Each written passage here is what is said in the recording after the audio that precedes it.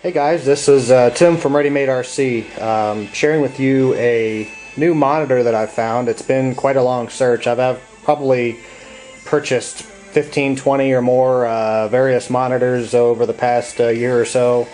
Um, looking for monitors that won't go to blue or black screen when they're static in the video. Most manufacturers think that people uh, don't want to see the static and they make it blank out.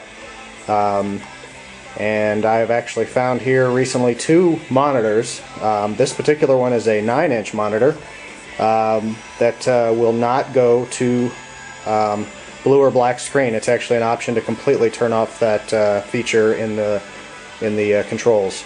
So to, to display this, I'm going to show you here. I've got a, one of my low-powered 1.3 gigahertz transmitters with a um, 30 dB attenuator, so that pretty much kills the signal for the most part and a receiver with uh, no antenna at all, so uh, obviously the worst of all conditions uh, when it comes to video quality. Um, it doesn't take much there. But the monitor will continue to display a picture even when there's not any information there to show. Which, uh, for anyone that's been flying FPV, you realize if a screen goes black even for a second, you could uh, lose your plane.